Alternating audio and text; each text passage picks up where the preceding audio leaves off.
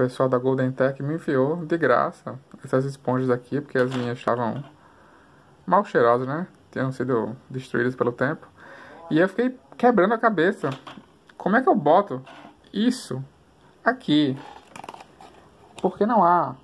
Deixa eu mostrar aqui. Não há nenhum encaixe para essas cinco, esses cinco pontinhos aqui, cinco pinos.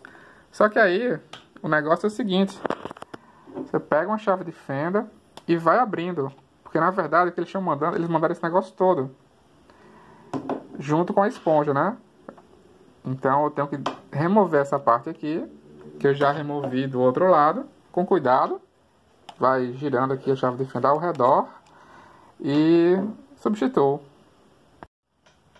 Agora que eu removi a peça, tá aqui, é só remover o restinho do, das sobras do antigo fone.